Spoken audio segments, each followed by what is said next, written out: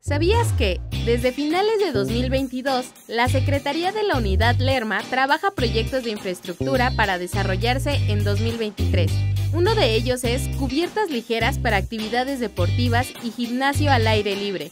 El proyecto ejecutivo que se estará trabajando incluye dos cubiertas ligeras para las canchas multiusos de aulas ligeras, un módulo inicial de gimnasio al aire libre con cubierta ligera al sur del campo de fútbol, estas obras comenzarán en el segundo semestre de 2023 y se concluirán en noviembre de este mismo año.